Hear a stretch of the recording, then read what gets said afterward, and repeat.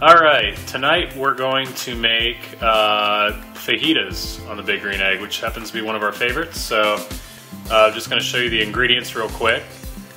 But basically what we're going to go with, you'll see these are loaf pans. Um, very cheap, about two bucks a piece. You see these have some road wear on them, but um, I can guarantee that these are sanitary, so don't worry about us.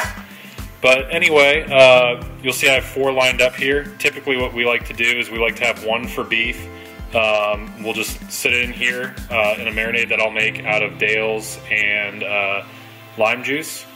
Uh, then we'll have one for chicken, and we'll prep that with just lime juice and some Cholula. Uh, and then the last two will just be uh, basically peppers and onions mixed and tossed with pepper and olive oil. Uh, as far as ingredients, uh, we have low fat, or actually fat free soft tacos.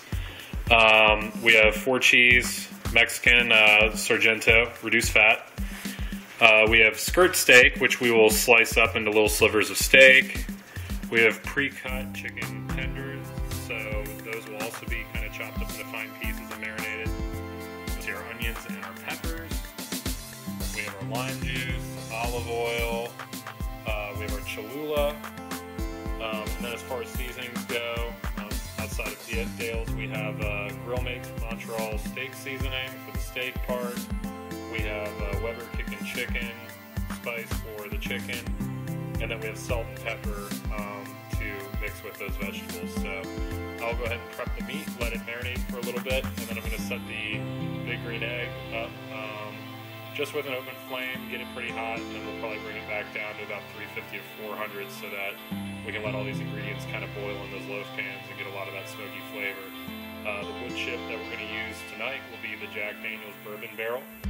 Um, just gives it that real smoky bourbon thick flavor, um, especially on the steak. Complements the chicken, all right, but it really comes in on those vegetables.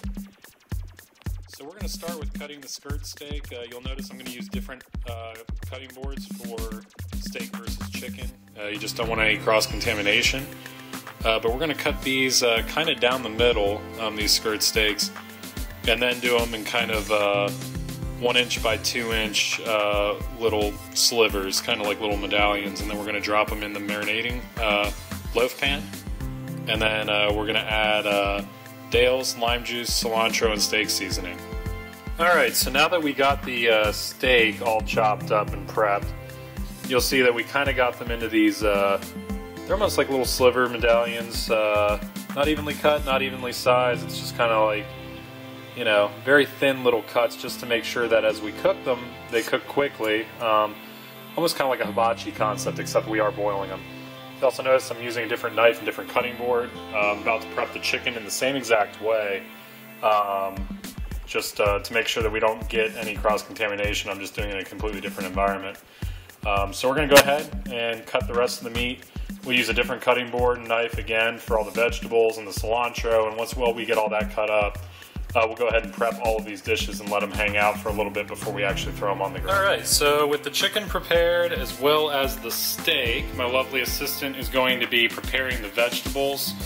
Um, as far as the vegetables go, you can cut your peppers and onions any way you want, as small as you want.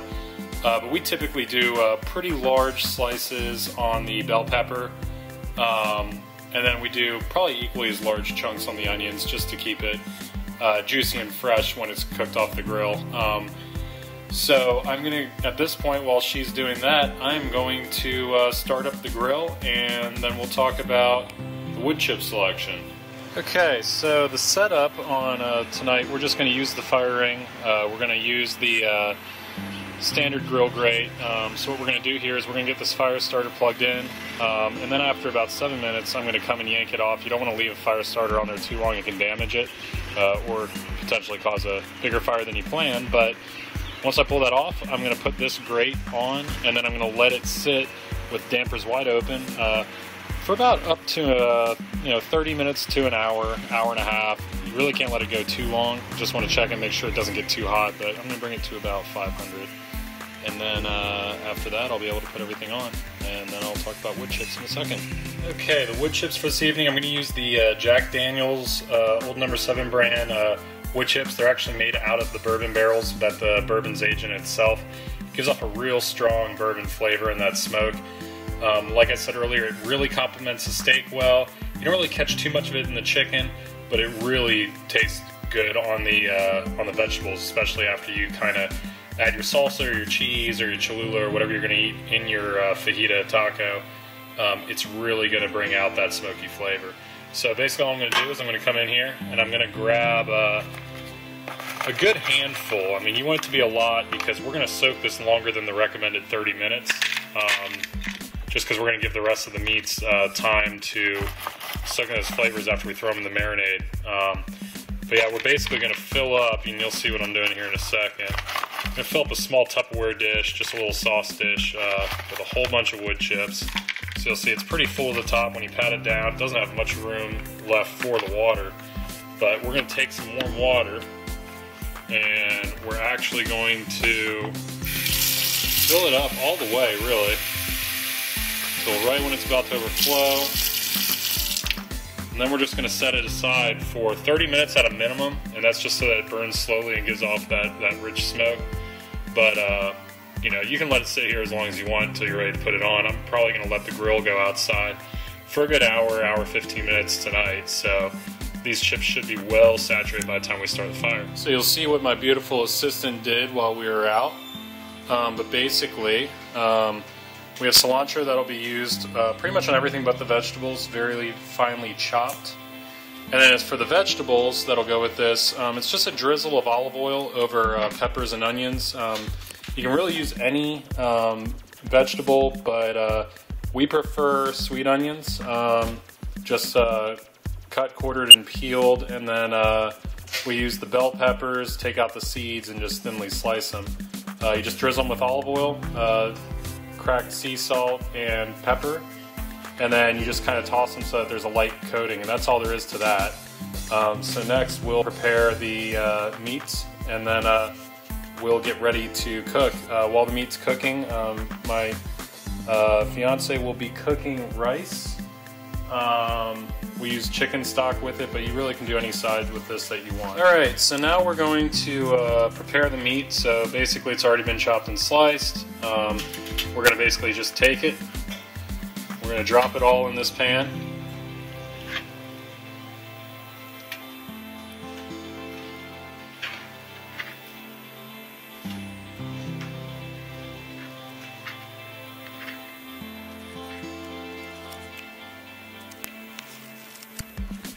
And then what we're going to do is we're going to give a good amount of low sodium Dales. You can use regular Dales, but it's a little bit too salty for us, so I'm just going to kind of coat the whole thing. Um, and really the key is no matter how much you're putting in, I may actually do probably two thirds of this. You really want full coverage so that when it's in the egg, it'll actually boil, which will help it cook quicker. I know it sounds weird doing that on a grill, but um, the smoky flavor really seeps into the marinade while it's cooking and you really don't lose any of that smokiness or any of that grill flavor. So now we're gonna add uh, lime juice, any lime juice, but really you wanna pretty much do almost this whole bottle. You want it to be about two thirds Dale's, one third lime juice, just to give it a little bit of Mexican flavor. So I'm gonna use, that's probably enough, so there's probably still a third of this bottle left. So I'm gonna kind of give that a quick mix real quick just to get those two juices talking to each other.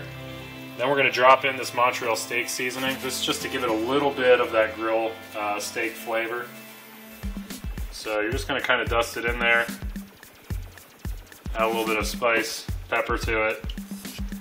Mix it again. And then we're going to bring in the cilantro to really go overboard with the Mexican flavor. So you don't have to go overboard on the cilantro. Cilantro is such a strong flavor. Um, so you definitely want to go too much if you don't like the flavor itself. But for the steak, that's probably enough just because there's already a lot of flavor going on. So you just want to mix all that together. And then uh, you're just going to let it hang out until you're ready to put it on the grill, um, just so that the flavor seeps into the meat. And then, like I said, it's going to boil on the grill, and it's going to be ready to pull off quicker than you think just because it's sliced so thinly. So just keep an eye on it, and if there's a lot of juice left over when you pull it, that's fine because you'll just strain out uh, the meat anyway. We're going to do the chicken. So basically I'm to take all this chicken that we cut up and drop it in our pan over here. It will clump together, but that'll all separate when you add the marinade. Um, for this marinade, it's real simple. It's just basically uh, Mexican hot sauce and lime juice. We prefer Cholula as far as our hot sauce goes. And uh, because it's so much lime sauce, lime juice, you're just going to use the rest of what we use from the steak, as well as um, the second bottle. So we're just gonna empty this guy out, which can get messy. Move on to this guy.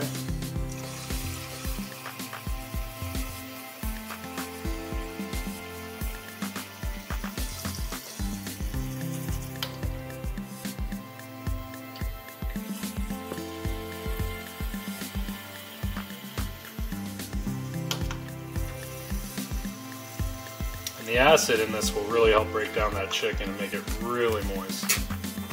Give it a lot of flavor. So then we're gonna kind of mix that around, let it get in all the chicken pieces. You'll see it's starting to separate already. Then we're gonna add a good amount of hot sauce. This will really give it that Mexican kick, kind of a bite to it. So Cholula is not the best bottle for doing mass quantities, but you're gonna do about a third, a little over a third. You can add more or less, it just depends on how much heat you can take. So that's uh, a little bit less than a half. So then we're gonna come in here. You can use any chicken seasoning you want. I prefer kicking chicken. Um, it gives it some of that heat, some of that saltiness to uh, soak in all that flavor. Give it another mix, and then we're gonna top it off with cilantro again. Um, cilantro is to be kind of that main flavor for this one. It's to take over the edge. So you can go a little bit heavier on the cilantro with the chicken just because there's less competing flavors there. Um, it's already going to taste, have a, a, good Mexican bite to it. So I'll go with about that much. And then we're going to just kind of mix that all in. Let all those flavors collide. And then uh, we're going to let this sit out until we're ready to put everything else on the grill. And uh, should be ready to go. And uh, we'll boil it up in a little bit. So now we've prepped everything. Uh, really, we're just kind of a holding pattern. A lot of it depends on when your sides are going to be done. You got to kind of play that planning role and just see, you know, guesstimate how much time this is going to take versus when the sides are going to be ready. Uh, this whole thing, I mean, really is, is subjective. For us, it takes about 25 to 30 minutes. Um, typically, the uh, vegetables we pull off first just because we prefer them to be a little bit more raw. Um, you can leave them on there longer to kind of crispen up and uh, leave the top a little bit more caramelized and a little bit soggier. But uh, we usually take those off first. The steak usually comes off next. We try to keep it uh, medium. Um, and then the uh, chicken usually comes off last just to be safe. But uh, I'll show you how to stack all those up on the grill. And uh, as we do that, we're also going to add these, uh, these wood chips. Now that the grill's ready, we're going to put all of our ingredients in. I strained out the water from the wood chips. So we're just going to lift the grate I'm just going to sprinkle these throughout the fire. I have a strong fire going at about 600, so it's going to drop pretty quickly once I add these chips and leave it open for a second while I do this. So what we're going to do now is we're going to place all these pans that we prepared. I usually put the meat towards the bottom first just to make sure it starts cooking a little bit quicker. Um, so what we're going to do is we're going to line three of these guys through the middle and then we're going to stack one on top. I usually choose a vegetable to leave on the top just because the vegetables will cook quicker than the others and then I'll realign them if one cooks quicker than the other. But that's kind of how it goes. You'll see the smoke's already coming up, so we're going to close this. We're going to be about 10 to 15 minutes and then pull off. You're just to have to check in to make sure that uh, you know stuff isn't burning and pull it off as it's ready. But the good thing is since they're in these pans, you can just kind of set them aside inside and they'll stay warm and then you can kind of serve them like a Willy's or Barberitos uh, burrito concept. So what I actually did is the fire uh, started kind of billowing up uh, while I was closing the lid. I actually decided to close the dampers a little bit. A, to preserve some of that smoky flavor. You'll see that I have it almost a uh, quarter turn. I'm to actually try to turn it a little bit more. Try to suffocate those flames but keep that heat in. So you'll see a nice billow right there. Uh, this area down here, I kind of just closed it a hair, maybe about a, a quarter of the way, um, just make sure there's still enough airflow so all the smoke doesn't escape out the bottom and suffocate the fire. So you'll see it's at about 400 right now, so we're at a good temperature, and uh, we're just to let it sit here for about 15 to 20 minutes. Uh, check in on it, you know, every 5 to 10 minutes, just make sure nothing's on fire. And pull it as uh, you think each ingredient's ready, and then uh, we'll be able to serve it on tacos inside once everything comes off. So now we're going to check on the progress on this. Now one thing I've failed to mention is every time you check on everything, you want to give it a good stir, make sure nothing gets too burnt on the bottom. So we're going to check, you'll see that the veggies, and it's been about 10 minutes, you'll see they're starting to get a little bit of a uh, golden hue on these uh, onions, so you just want to tap in there, don't do anything too drastic. Let's test the bottom of these over here. So nothing's sticking right now because that olive oil. I think we're doing all right there.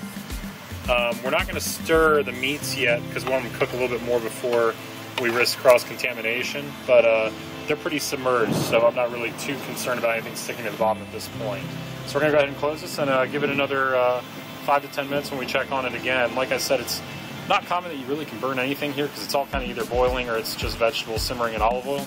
So uh, you really can't go wrong here. All right, so we just pulled the uh, veggies off. They look like they're done. Um, I wish you could smell it right now. It smells incredible. Definitely has that smoky flavor to it. But anyway, um, so we're just gonna let these hang out. The meat's still on there. Uh, the sauce that the meat's been cooking and it's really turning into kind of a syrup. Um, that's largely in part due to the smoke from the wood chips. So we're gonna let those hang out for a little bit longer, just to make sure they're done. Um, our side, which is this wonderful Spanish rice, has been done and hanging out for a little bit. We'll serve that on the side, and we'll be making our fajita tacos very shortly. All right, so I think the meat's just about done, so I'm going to kind of show you what that looks like. You'll see that it's boiling. Um, the chicken kind of has almost an orange hue uh, from all that lime and cilantro it's been cooking in.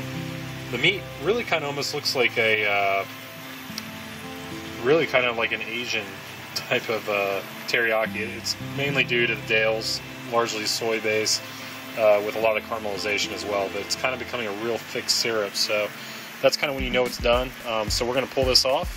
We're going to let it cool down for a little bit, and then we're going to use a uh, straining spoon as we serve ourselves, uh, so we don't get too much of that juice on there, and we kind of let it strain out. And you also do the same exercise when you save the leftovers, and this will make plenty of that, unless you're uh, hosting for a whole party, which this probably will serve. So the total cook time on all this, as soon as it went on the grill, um, over to finish, was probably closer to probably 35, 40 minutes. Um, like I said, you can't really go wrong. You can't really overdo it. It is boiling, so it's almost like doing a slow cook in a crock pot with both of these. So there's a chicken. You'll notice it's got some uh, crispy edges. Uh, definitely it has a little bit of browning aspect to it. Uh, the steak kind of almost has a syrupy feel to it. Um, all those flavors kind of melted together and, and kind of uh, a lot of the uh, sweeter stuff in there kind of caramelized, so that's going to be real good. Um, and then again, the vegetables, that's up to your, your own preference. We like ours a little bit crispier, so um, you'll notice it, it's, it's kind of charred on the outside. Um, this is the one that was closer to the flame.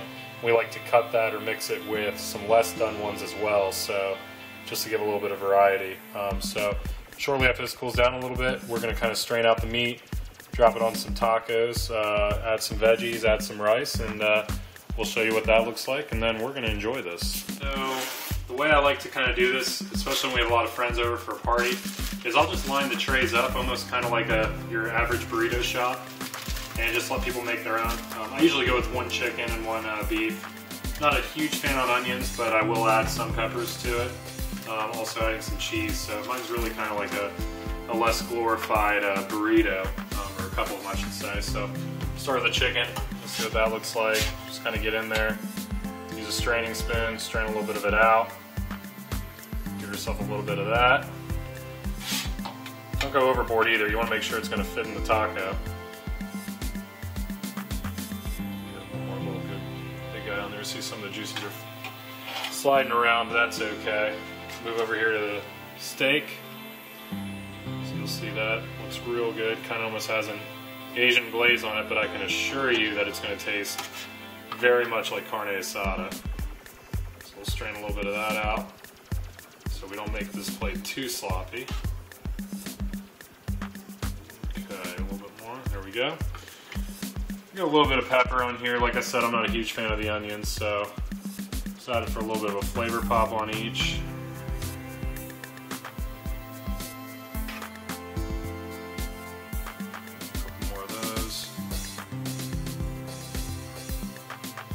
And I'm also going to dress these with a little bit of hot sauce because I do love that.